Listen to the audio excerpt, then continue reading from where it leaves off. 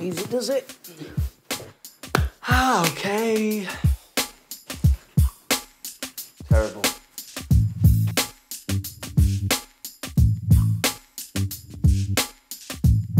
Hello, hi, welcome back to The Humble Bartender. I'm Will Crawshaw. Today what we're going to be showing you how to make is an Italian classic. These have been everywhere over summer. It's a little bit out of season for me to be making one now, but I still get people ordering in the bar, and I think it's a great drink for all year round anyway. But we're going to be making you an Aperol Spritz. The drink is very simple. It actually has the recipe on the bottle, being 321 Prosecco, Aperol, with a bit of soda as well. So nothing in Italy really has a claim as strong as the Aperol Spritz as being Italy's drink. The drink mainly consisting around Aperol, which is a slightly bitter, slightly sweet Italian aperitif, 11% volume, um, with bright orange notes and some herbal characteristics in there as well. Amazing liqueur used in various cocktails, works really well in a Negroni in place of the Campari if you don't like the massively bitter edge, really, really good. So in 1919, Aperol was born gained popularity throughout the 1920s. And in the 1930s, it became a drink for women and sportive people with advertisements in Italy marketing the drinks for fitness conscious people wanting to stay fit and lean. It wasn't really until the 1950s until Aperol capitalized on the spritz, so the 321 combo of Prosecco, Aperol and soda, which became a really important part of the advertising campaign with posters and slogans all over. So fast forward to 2011, it's growing in popularity, it's been championed all over the world. Aperol actually launched its own pre-bottled version of the Aperol Spritz, coming at about 8%. I remember having one of these over in Rome myself actually when me and Becky went over a couple of years ago. Really, really cool, just a little ring pull bottle, fantastic. But with the homemade option being a preferred choice anyway. I've just got a wine glass here. Wine glasses are perfect, nice tall wine glass just to fit plenty of ice in there, get your ingredients in. So we'll dive straight in and make this cocktail now, nice and easy. You guys can follow this at home. So I've just been out bought a bottle of Aperol, a little bottle of Prosecco, some soda water as well, and a lovely orange, of course to garnish. For me, really essential. So I'm gonna go ahead and ice up the wine glass. So down here, I've just got some ice. I'm gonna take a good cup of. So plenty of ice into the glass. Should do the trick. Just gonna drain off any excess water collected in my glass purely because the ice has been sat there down there for a couple of minutes. Let's get stuck in. Let's get your Aperol out. This beautiful orange, red coloured liquid. Slightly bitter, slightly sweet, as we mentioned earlier. Love this stuff. Use this in various cocktails, works quite well with rhubarb and gin, lemon, all sorts of stuff. It's really, really quite versatile, not just for a spritz. We're gonna take this, it comes with a little pourer on the top, which controls it quite nicely. Um, you can put a speed pour on this if you like. Straight in. 50 mils of Aperol.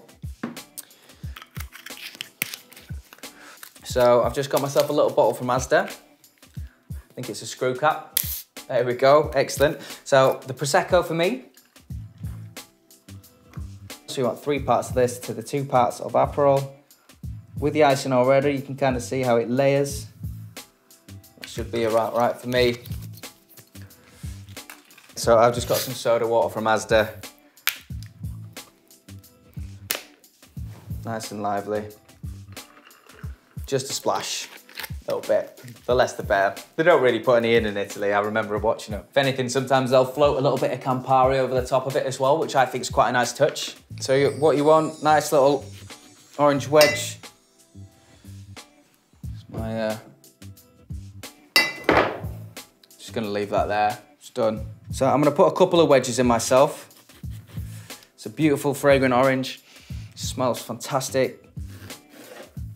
One wedge is fine. Two is better, squeezed with the juice. And there you go, it's your Aperol Spritz, everybody. You can put a straw in this if you like, but I tend not to use them. I like to save the turtles. So um, what I'm gonna do, I'm just gonna give it a quick lift. Just get this all nice and mixed up. Nobody wants a sip of soda, a sip of Prosecco, then just the Aperol at the bottom, do we? So that's it, that's looking great. That's your Aperol Spritz, guys, nice and easy. Little taste. Brilliant, every time. So refreshing, if you sat out on a balcony and it's nice and warm. Won't be like that in England for a while, but if you're going on holiday, if you're going to Italy, you gotta check these out. These are a brilliant little drink. Nice and bittersweet. Nice zing of the Prosecco with the orange in there as well. It's brilliant.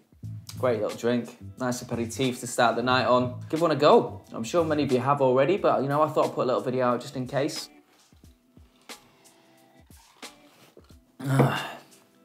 Delicious. Takes me back to Rome. I used to doing takeaway cups. Remember me and Becky having one running down the streets of Rome. A little Aperol spritz in a coffee cup. Brilliant. So that's it, guys. Give one a go. If you like this drink, drop us a comment. If you've done a little twist on it, which people have, drop us a comment. As always, do like, share, and subscribe if you've enjoyed this video. Uh, get onto my website, at www.thehumblebartender.com, Instagram at The Humble Bartender, or Twitter at Humble Bartender. But that's it, really. Get stuck in, make yourself an Aperol Spritz. I'm Will Crawshaw, The Humble Bartender. Cheers, guys.